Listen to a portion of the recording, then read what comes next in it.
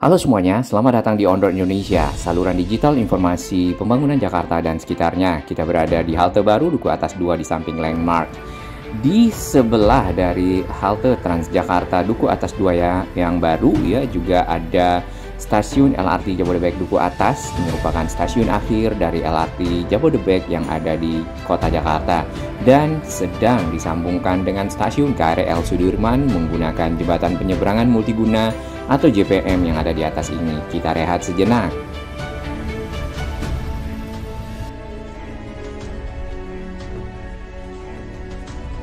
Terima kasih kami kepada sahabat baru yang telah bergabung di Onder Indonesia dan sahabat yang mendukung Onder Indonesia berkembang lebih baik menjadi saluran digital informasi yang lebih bermanfaat bagi warga Jakarta dan sekitarnya. Baik, ini di depan kita adalah halte Transjakarta yang lama, duku atas yang lama yang temporary dibuat untuk menggantikan halte duku atas 2 yang sempat dibongkar dikarenakan proses pembangunan dari um, manuver track ya LRT Jabodebek di duku atas.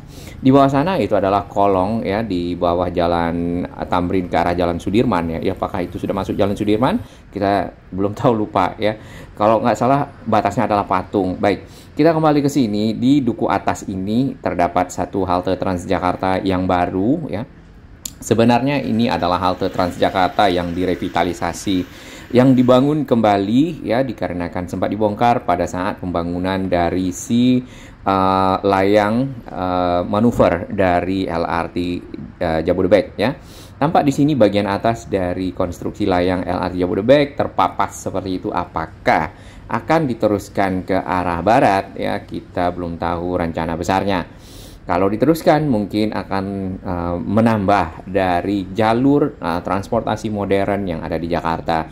Baik, kita lihat lebih dekat. Sebenarnya halte Transjakarta Duku Atas 2 ini sudah dioperasionalkan uh, di Sabtu kemarin tanggal 20 ya 20 uh, Mai. Jadi sudah dapat dipergunakan oleh masyarakat. Nah, kita perhatikan di sini untuk aksesnya sebenarnya sama dengan uh, halte Transjakarta yang lama itu disambungkan menggunakan akses bridge atau JPO yang lumayan panjang ya untuk menuju ke arah Duku Atas 1 yang ada di Jalan Jenderal Sudirman.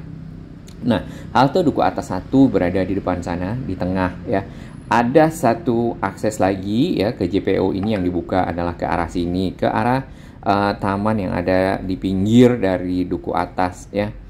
Nah, halte yang lama tadinya kan ada di samping ya, di samping dari uh, landmark dan tidak berada di tengah dan itu uh, dilalui oleh bus-bus Transjakarta koridor ke arah kalau nggak salah itu Pulau Gadung dan seterusnya Kemudian juga sekarang itu sudah lebih banyak ya trayek mungkin yang ikut di sana. Kalau nggak salah yang Halimun ke arah uh, Ragunan ya waktu itu. Mungkin sahabat sahabat-sahabat yang menggunakan Transjakarta, Mas Dana misalnya bisa berbagi informasi koridor berapa yang ada di sekitar sini ya. Ini adalah uh, Jalan Jenderal Sudirman dengan tamannya seperti ini ya dan uh, area ini dipergunakan untuk uh, jalur pedestrian ya masyarakat yang cukup nyaman. Baik di Jalan Jenderal Sudirman sini dan Tamrin ya memang ada terdapat uh, lajur dari sepeda yang dibatasi dengan um, beton-beton uh, kotak lah ya, beton kotak untuk uh, tanaman. Nah, kita coba lihat agak ke depan ya kalau kita menggunakan jalur pedestrian kemudian uh, untuk naik ke atas. Ya, saat ini ini masih ditutup ya, harusnya ini sudah dibuka dengan ini ada barrier uh, air yang warna merah ini mungkin sudah menjadi satu akses yang lebih baik ya naik untuk naik ke atas. Nah, uh, untuk menuju ke arah halte duku satu atau uh, duku atas satu atau duku atas dua tadi bisa naik anak tangga itu ya. Namun kita lihat di sisi bawah sini si beberapa ubin dibongkar ya ini nantinya mungkin sekarang sudah terpasang ya kita belum lihat lagi sehingga menjadi area pedestrian yang cukup nyaman untuk dilewati oleh masyarakat. Nah, kalau sampai di atas sana terus bisa menyeberang ke arah jalan uh, Sudirman di sisi barat ya. Sedangkan untuk masuk ke halte itu ada akses um, apa uh, tapping card ya, tapping card di sana baru bisa masuk ke halte. Nah, yang dari arah uh, duku atas dua nantinya sebelum lihat lagi ya sebenarnya kalau mereka sudah tapping di sini dan pembayarannya terintegrasi ya harusnya tidak lagi tapping di uh, duku atas uh, satu. Karena jadinya dua kali bayar ya untuk Transjakarta yang yang harusnya terintegrasi seperti itu. Nanti kita coba lagi atau bagi sahabat-sahabat yang sudah menggunakan ini bagaimanakah proses pembayarannya? Ya misalnya menggunakan halte duku atas 2 ingin ke duku atas satu apakah bayar kembali menggunakan tapping card atau bagaimana? Silakan berbagi informasi dan komen di bawah ya aksesnya un, akses bridge atau JPO ya kalau kita perhatikan JPO yang lama itu lantainya kan kayak um, seng seperti itu ya kayak lantai uh, bis standar lah ya kemudian ada garis-garis sedikit ya. Nah saat ini untuk JPO itu akses lantainya juga sudah cukup baik dan cukup bagus ya mungkin secara kualitas jauh lebih lama dibandingkan dengan yang model seng. Karena seng sendiri lama-lama itu terkikis ya lama-lama menjadi tipis. Dan itu uh, bisa berbahaya pada saat tipis dan diinjak ya. Nah untuk menuju ke arah duku atas satu ya itu uh, si JPO-nya tadi atau akses bridge-nya itu dibagi jadi dua bagian dua lajur nih seperti yang di sini ya ini ada lajur yang uh, ke arah duku atas satu ada yang dari arah duku atas satu menuju duku atas dua. Ini dari sisi bawah kalau kita lihat ya. Area yang di bawah sini taman itu dipergunakan kadang-kadang oleh masyarakat dan anak-anak untuk melakukan olahraga biasanya ya, yaitu skateboard. Hari ini mungkin sudah agak siang jadi skateboardnya tidak ada kegiatan ya dari konstruksi JPO-nya kita lihat ini benar-benar cukup kokoh. Baja yang dipergunakan ini nampaknya mirip dengan baja-baja yang ada di gedung-gedung parkir ya dan ini akan tahan cukup lama tentunya. Um, plus ya uh, faktor keselamatan dan keamanan para penyeberang uh, sangat terjaga.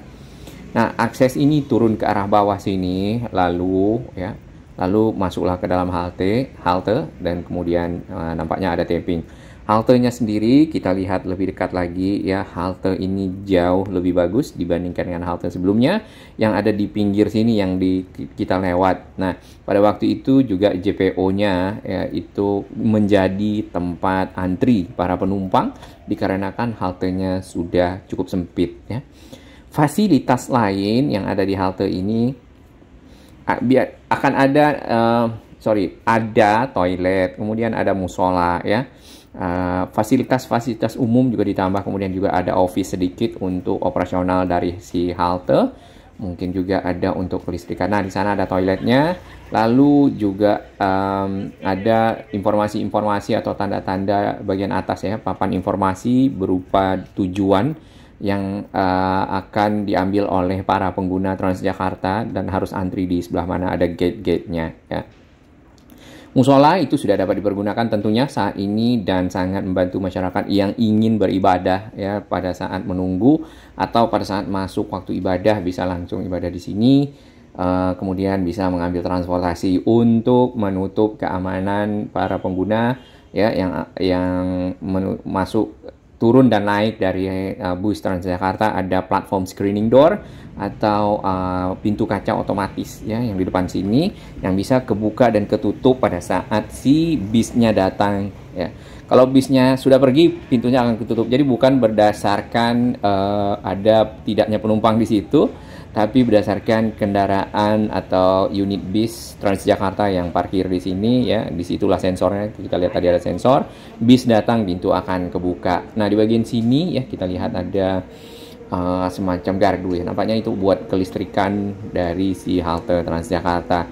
Nah ini yang cukup pentingnya yang ingin kita sampaikan apakah dari sini bisa disambungkan ke uh, arah uh, dibuatkan skybridge lah ya seperti mungkin Jatinegara pasar Jatinegara dengan stasiun Jatinegara kan cukup panjang ya uh, ini nggak perlu sepanjang itu ya sampai ke duku atas satu seperti itu bisa lewat atas tidak lewat bawah sini langsung terhubung dengan jembatan penyeberangan multiguna atau JPM uh, plus stasiun LRT Jabodebek Duku Atas. Jadi para pengguna misal yang dari arah Jalan Harmoni ya uh, dari jalan dari Harmoni dari kota dari Glodok yang tidak ingin naik KRL misalnya uh, ingin naik LRT Jabodebek menuju ke arah Cibubur Jakarta Timur uh, Bekasi kemudian Jatimulya bisa menggunakan JPO ya di sini yang terintegrasi dengan si um, LRT Jabodebek Duku Atas yang ini karena ini merupakan stasiun akhir dari LRT Jabodebek yang ada di HR Rasuna Said di Duku Atas di sisi ujungnya.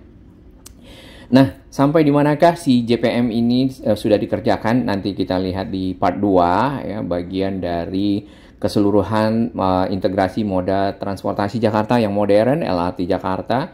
LRT Jabodebek ya LRT Jakarta sendiri nantinya itu baru sampai akan Manggarai ya untuk tahap 1B kemudian yang akan dilanjutkan lagi adalah ke arah Halim yaitu um, melewati Jalan Pemuda Klender Kalimalang dan sampai ke arah Halim. Itu untuk integrasi dengan LRT Jakarta LRT Jabodebek, maaf, di Halim yang juga ada stasiun kereta cepat Jakarta Bandung yang ada di Halim. Nah, untuk ke arah sini LRT Jakarta mungkin dari Manggarai ya uh, sementara akan transit terlebih dahulu pindah moda transportasi KRL ya menuju ke arah Sudirman baru menggunakan si LRT Jabodebek. Ya kita belum tahu si LRT Jabodebek secara roadmapnya kan kemarin sempat akan ke duku atas ya. Uh, namun karena ada irisan dengan KRL dan seterusnya mungkin ada pertimbangan lain atau kalau mau ingin diteruskan juga bagus. Baik kita tunggu modern transportation Indonesia ya untuk kemaslahatan masyarakat.